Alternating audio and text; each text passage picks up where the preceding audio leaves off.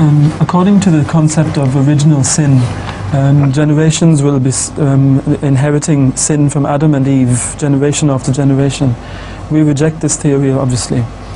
But um, how do we reconcile the, uh, our belief that this isn't true when we see in the world of, uh, in the medical world, um, genetically inherited disease seems to be passing down through the generations, and it would seem that Allah is There is punishing. no sin, which is uh, which passes down the generations.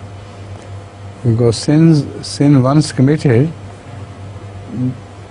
has to be punished by God by divine laws. Outside these laws, which command the body. So within the body, it is cause and effect, and we never deny that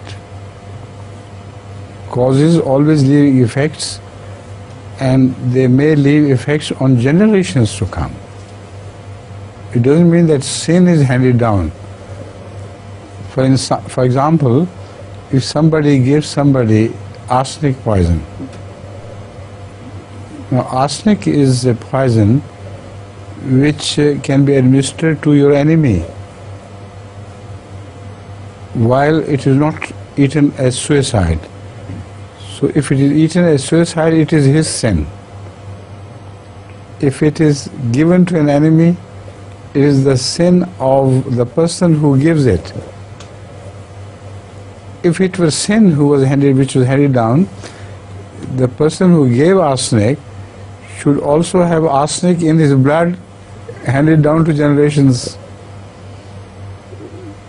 But whether you take it yourself or somebody else gives you, arsenic has its effects going down the generation. First of all, it doesn't leave the body at all. If now, even after thousands of years. And secondly, the effects it causes in the body are generated and they go down the generations. Similarly, the venereal diseases, they act accordingly, in, exactly in the same sense the the poison is carried down the generations because of cause and effect philosophy.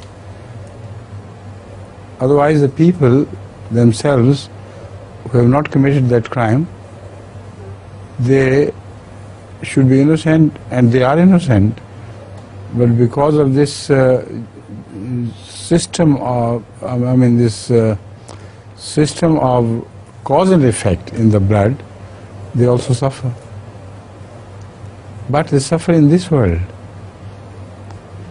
While if they had committed sin, they would suffer also, or they may suffer also in the world to come. That's again a separating line between the two. Same is the case with mercury and sulfur.